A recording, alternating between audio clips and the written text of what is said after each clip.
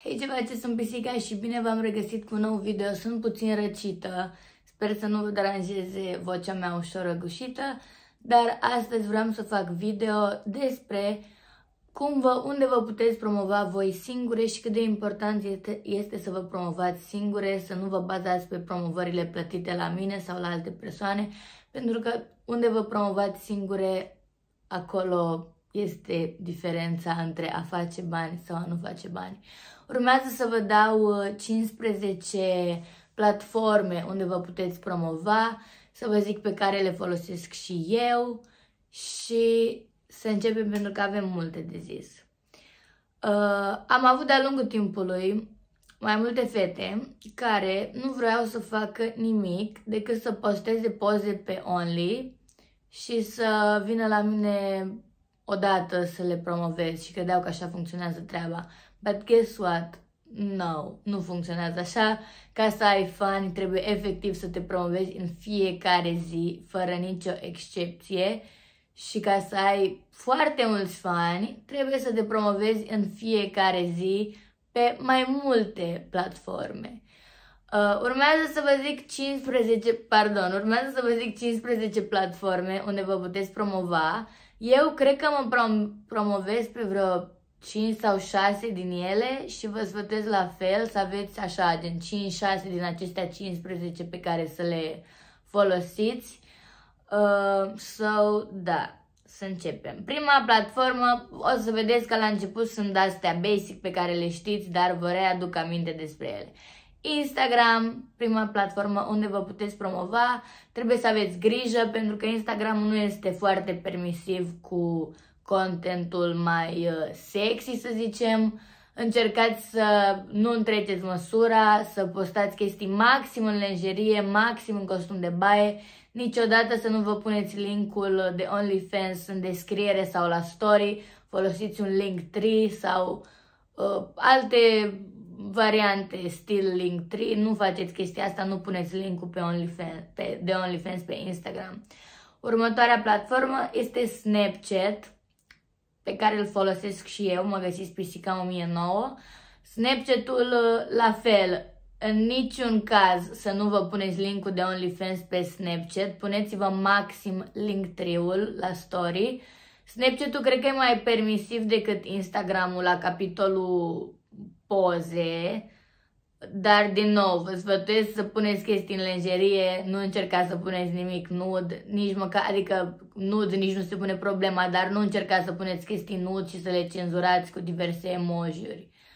Iar la capitolul ăsta cu link-ul, Snapchat-ul șterge contul din prima dacă pui linkul de OnlyFans. Eu am pățit asta în 2020. Deci nu. Instagram-ul nu-ți șterge contul chiar din prima, te lasă să îl pui de câteva ori până să te șteargă contul, dar nu faceți asta, nu vă puneți link-ul nici pe Instagram, nici pe Snapchat, folosiți Link3 sau alternativele Link3-ului, nu-mi vine acum în cap uh, o altă alternativă, dar sunt.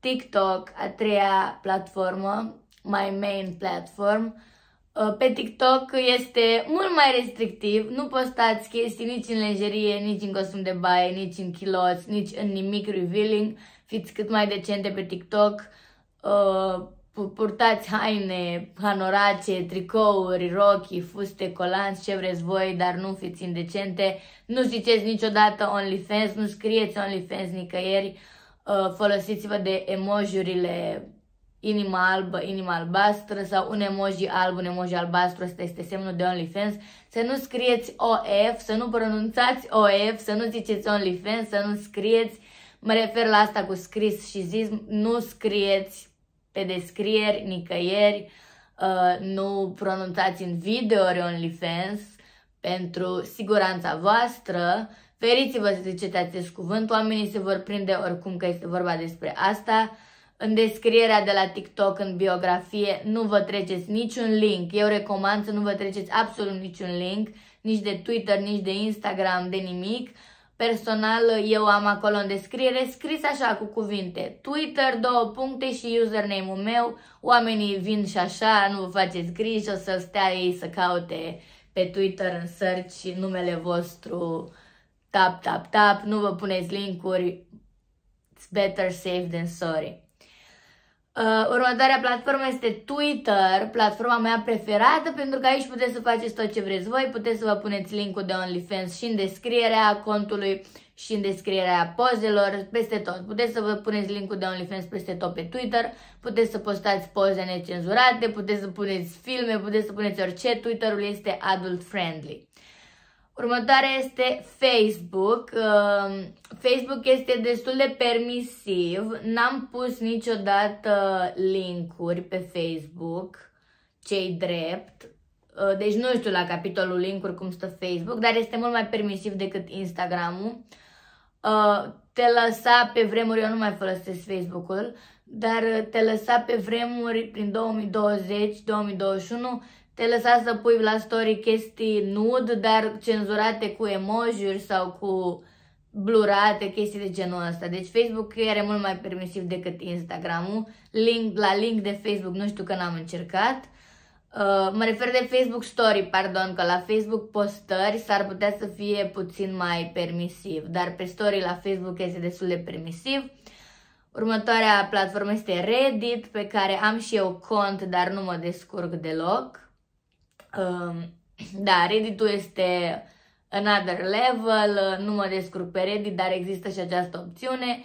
Este la fel o platformă unde poți să postezi, uh, unde intri în diverse grupuri și te promovezi acolo. Nu mă descurc cu Reddit, nu vreau să vă zic nicio prostie, dar puteți să vă uitați pe YouTube la alte persoane care vorbesc despre Reddit. Dacă veți înțelege ce zic ei, bravo vouă, eu n-am înțeles, dar Reddit-ul este o opțiune.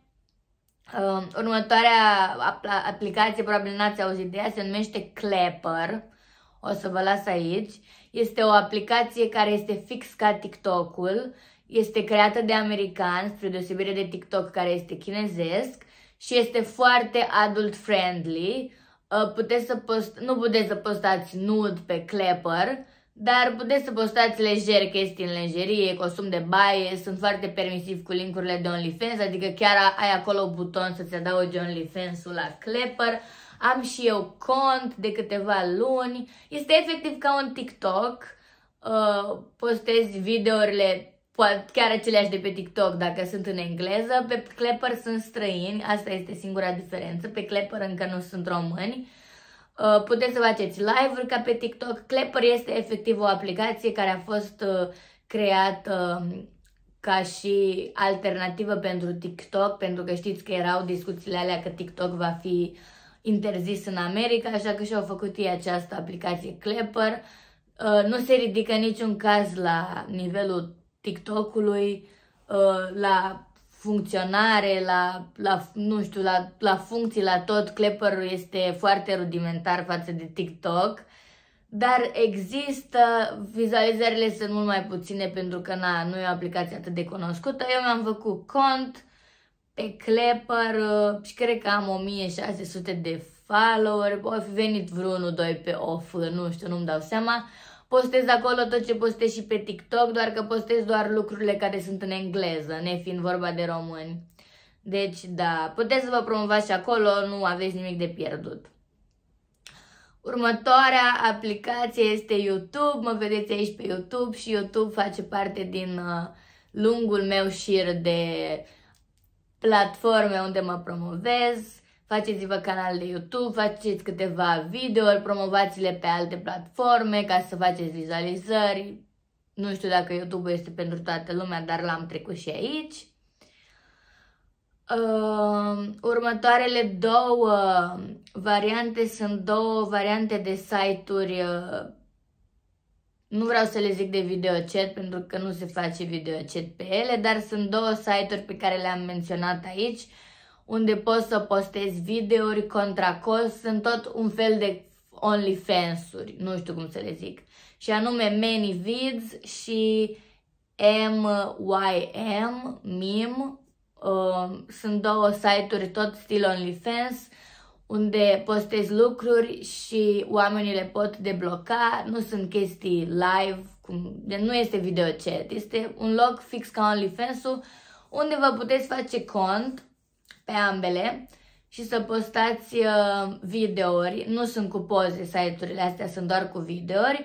videouri pe care oamenii le pot debloca la bucată, adică preț per video, sau există și variante de subscripție, dar în general la site-urile astea funcționează per video plata, nu e un site așa de pentru subscripții. Există și această opțiune, puteți să faceți niște bani pe aceste site-uri în plus, pentru că au trafic intern, adică nu trebuie să le promovați nicăieri. E mai bine dacă le promovați, dar nu este necesar. Aveți trafic uh, intern de la site, chiar dacă nu le promovați. Deci puteți să le folosiți ca să faceți niște bani în plus sau puteți să le folosiți și să poate vă vine lume pe OnlyFans dacă ziceți acolo de OnlyFans. Nu știu, eu n-am făcut asta, dar vă zic, există încă două site-uri uh, pe care știu că le folosește mai multă lume. Mai e și Fansly. Am uitat să zic asta. Da, mai e și Fansly care este fix ca OnlyFans. Astea două ManyVids și meme sunt uh, pentru videouri, nu, e pentru, nu sunt pentru postat poze. Următoarea, următoarele platforme, mai am cred că de zis uh, 5. 5 platforme. Discord, puteți să vă promovați pe Discord. Eu personal nu știu cum funcționează și da. Dar l-am trecut aici. Puteți să vă promovați pe Discord. Uh, pe Discord, din câte știu eu, sunt grupuri, nu știu altceva, nu știu dacă e ceva live pe Discord, dar dacă vreți să look into it, go ahead.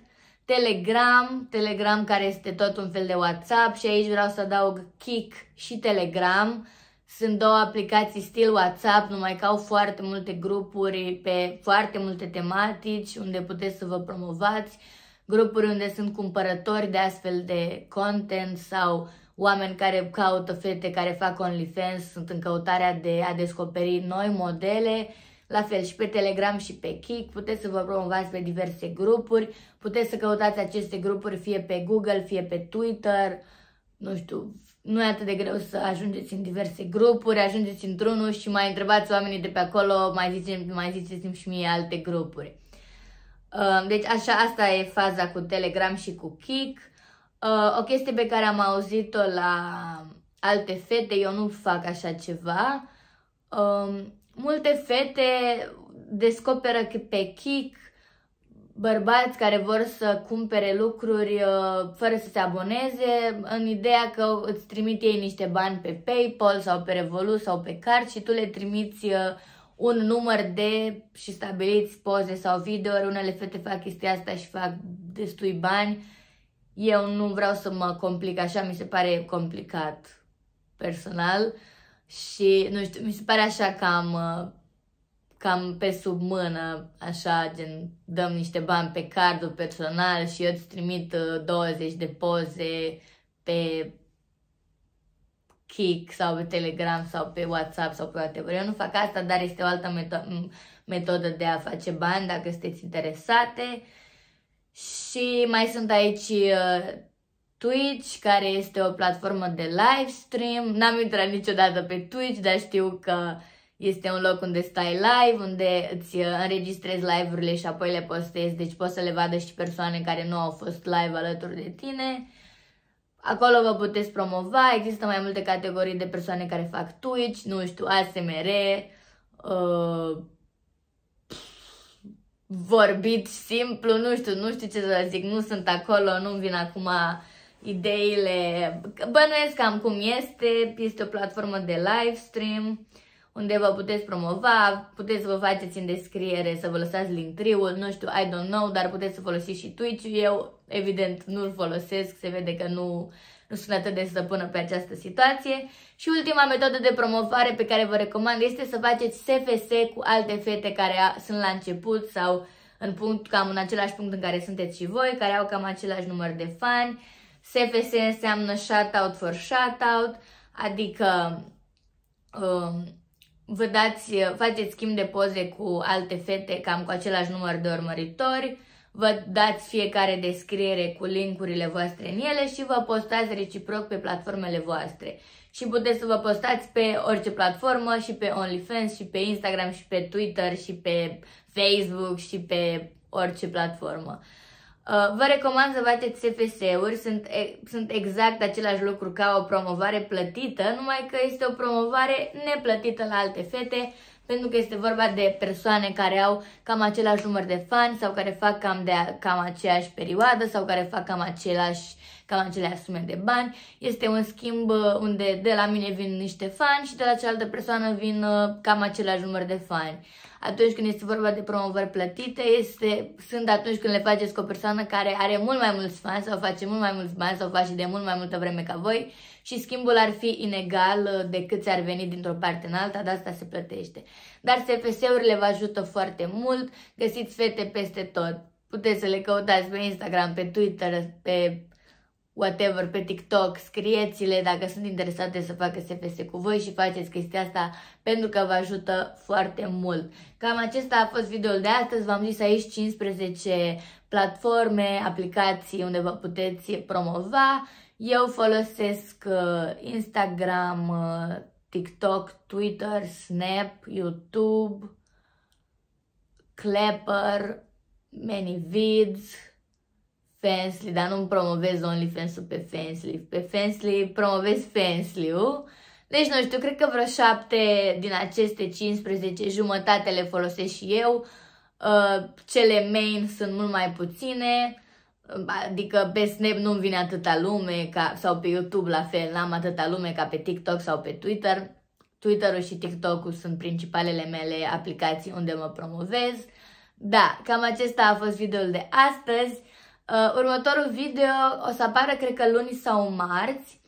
Astăzi este joi și va fi unboxing la iPhone 15 Plus. Mi-am comandat telefonul astăzi și urmează să sosească duminică, ceva de genul ăsta și o să vă fac unboxing la el. Nu vă zic mai multe despre telefon, pentru că vreau să fac o surpriză legată de culoare, de cum va fi, gen da, I'm so excited să fac uh, video cu unboxing-ul. V-am zis de primăvară că vreau să-mi iau iPhone 15 și o să fac unboxing. Anyway, dacă v-a plăcut acest video, nu uitați să apăsați pe subscribe și pe clopoțel pentru a fi notificați de fiecare dată când postez. Vă pup și ne vedem data viitoare.